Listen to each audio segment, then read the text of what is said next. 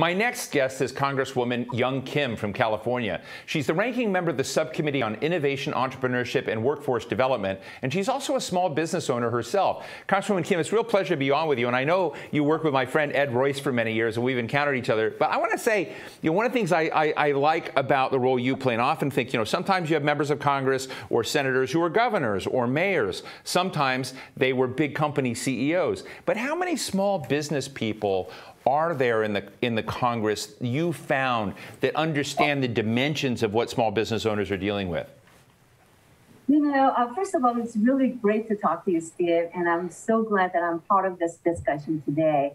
Uh, before I went to, I mean, before I came to Congress, and before I worked with uh, my former boss, Congressman Ed Royce, I was a small business owner uh, in the uh, garment uh, industry, fashion industry. I have my own uh, showroom at California Mart, uh, dealing with buyers and the National Buyers Week and uh, going into manufacturing of the ladies' wear clothing. And so I do understand what the small businesses face each and every day. And coming to Congress, I, I found, I don't know exact number of my colleagues who have been a former business, but there are quite a few especially since I serve on the Small Business Committee, anytime we have conversation in the hearings or through our, for example, a couple weeks ago, it was a National uh, Small Business Week, and we're holding roundtable discussions, inviting our small businesses from our uh, districts.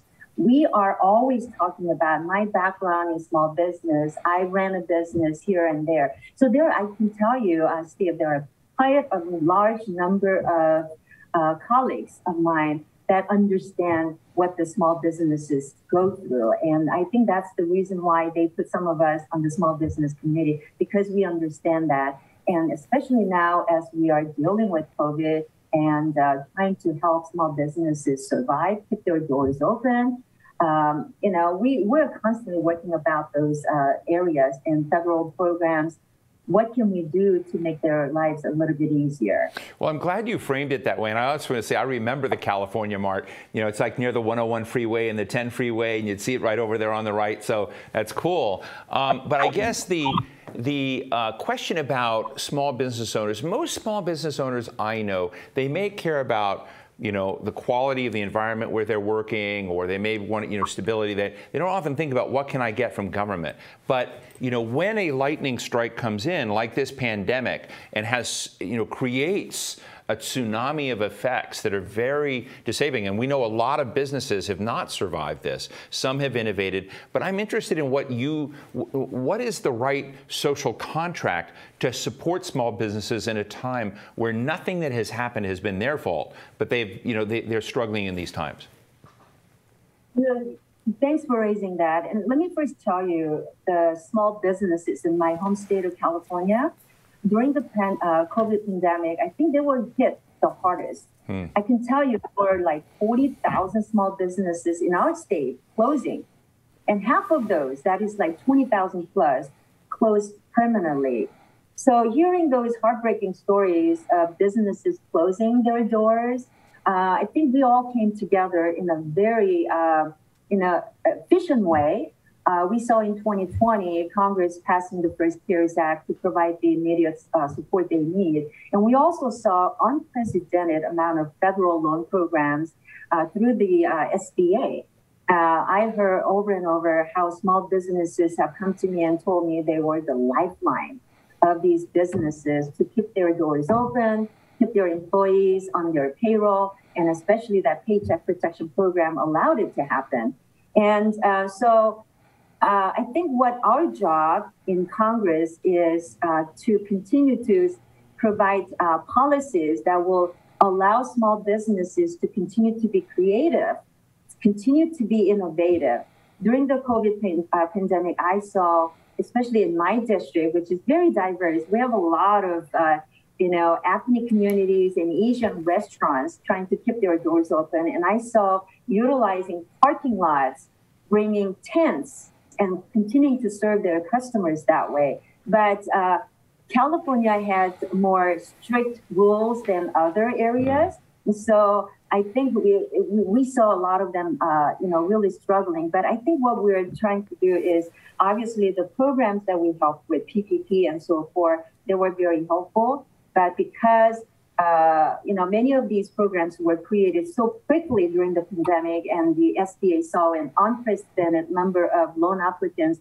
There were uh, difficulties in processing those, and a year later, when our committee is doing uh, oversight hearing, we found some uh, uh, issues with how we were dealing with it, and we're trying to work through those. Fascinating.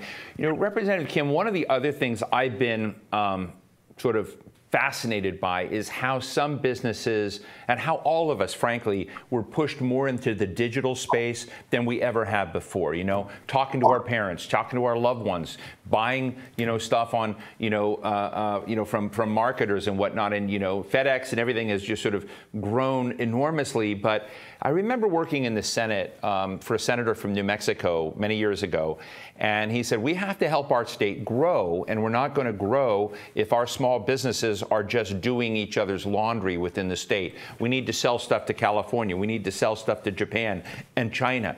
And that used to be complex. And now there are platforms, there are opportunities for small businesses to say, hey, I can get beyond our neighborhood and I can do that. And I'm interested, you're, you're from California, and California has, you know, not only a Pacific orientation, but a global orientation. How important do you think it is? I mean, we seem to have a struggle over internationalism in this country. President Trump pulled out of a trade deal in Asia. Joe Biden has not yet, to my knowledge, initiated any great big new trade deals. Is that hurting business? Is that harming small business and, you know, robbing, you know, horizons of, of markets for them? Of course. Uh, again, my 39th district is part of Southern California, which we call the gateway to Pacific Rim. Uh, our constituents and state of California businesses rely heavily on our trades with our trading partners in Asia. Right now, during the COVID, there are containers after containers. I mean, they are just uh, locked at the ports. The goods are not moving. The trade is greatly affected. So this hurts our businesses. It affects the uh, the supply chain. All of that is affecting. And so I'm very pro uh, trade with our Asian uh, allies, especially uh, in the uh, Pacific Rim. I think we need to continue to provide our support there. But you also talked about uh, doing a lot of businesses online. And so many small businesses, uh, they continue to adapt to keep their doors open. And during that, that part of it, uh, you know, that includes our, uh, I guess, reliance on doing uh, online uh, businesses. And this pandemic made it very clear that our reliance on technologies will only continue into the future. And so we need to embrace uh, the new technologies in today's uh, changing economy. And I think uh, by doing it, we're also concerned about the protecting the cybersecurity of our small businesses. And that is crucial. And I think we need to uh, evaluate lessons learned during COVID 19 and create programs that are successful in the long term. Um, I joined my, uh, you know, Democratic co-chair uh, Jason Crow in introducing mm. SBA Cyber uh, Awareness Act. This is a bipartisan bill, and that is an initiative that would ensure small business administration to prioritize and improve their cybersecurity capabilities and report to Congress on their efforts. Um, this is a bill that was uh, passed out of the committee in July, so I hope the House passes that soon. Representative Keeling, I'm, I'm your latest Twitter follower, and so uh, one of the things that I see in your in, your, in some of your tweets is um, a little bit of concern. We'll just call it a little bit of concern about the Biden White House's approach on taxes, on the economy, on debt. And you know, I remember being at a panel a couple years ago, a few years ago, where they had a bunch of very, very rich, successful business leaders from the Democratic business community and the um, Republican business community, I said, you know, is Donald Trump friend or foe? And every single one of them, Democrat and Republican, said friend because of a 21% tax rate. So, so I'm just interested in when it comes to the macroeconomic conditions in which small businesses are operating. What are the big concerns or blind spots you have, or blind spots the White House has from your perspective, or your concerns about where policy is going right now?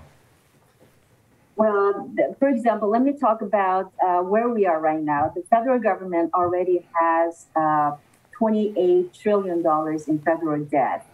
And we are currently looking at passing another, uh, you know, like 3.5 trillion uh, budget reconciliation through that reconciliation process. Mm. And we're also talking about another 1.2, uh, you know, uh, infrastructure bill. My concern when we were passing or voting on the continuing resolution just this week, and that was yesterday actually, it was brought uh, to the floor. Um, it included a provision to increase or raise the debt limit that is unlike, I mean, unlikely to pass in the Senate.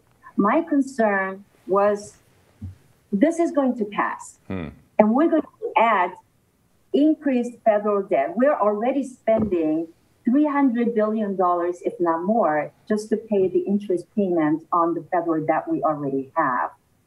I support continuing resolution if we cannot come together and pass a clean budget bipartisan budget, but that is not happening. So the continuing resolution will allow our federal government to continue its operation.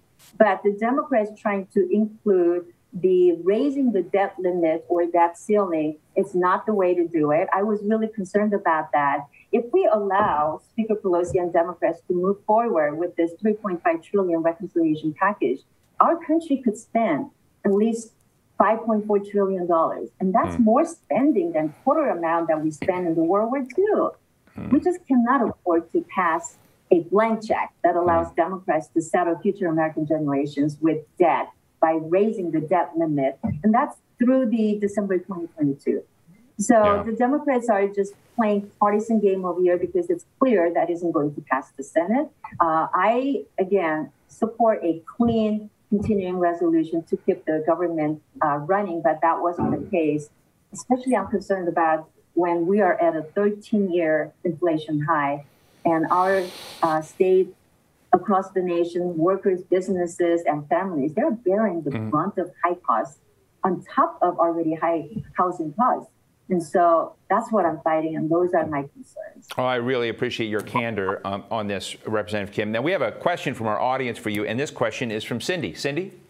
Hello, everyone. I'm Cindy Ramos Davidson, and I am the CEO of the El Paso Hispanic Chamber of Commerce and the proud operator of two coronavirus relief centers in partnership with MBDA and SBA.